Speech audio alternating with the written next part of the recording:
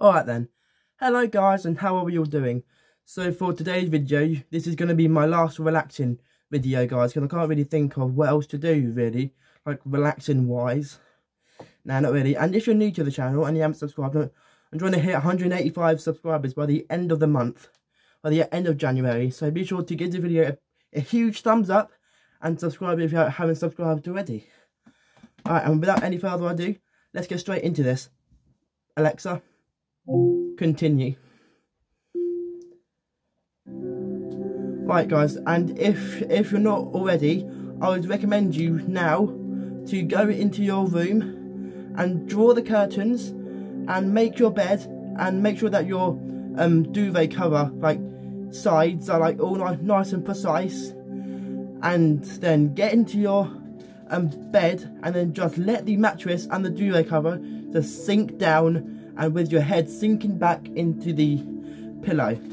And and if you want to guys you can even put your bedside lamp on as as well.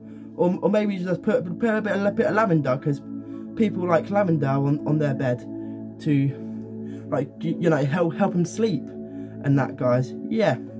Yeah and yeah and that's basically your like sleeping routine. If you're like having like a stressful day or if you if you're not if you're feeling quite sad and you just want to watch a video I recommend you guys to watch this video because this will this will really help you guys.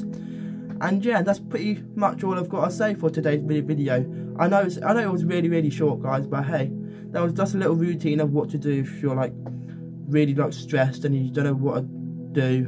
And just I recommend you to watch this video guys. And yeah that's pretty much all I've got to say for today's video. That's pretty much this today's video. And be sure to give the video a big thumbs up and subscribe. And if you haven't subscribed already.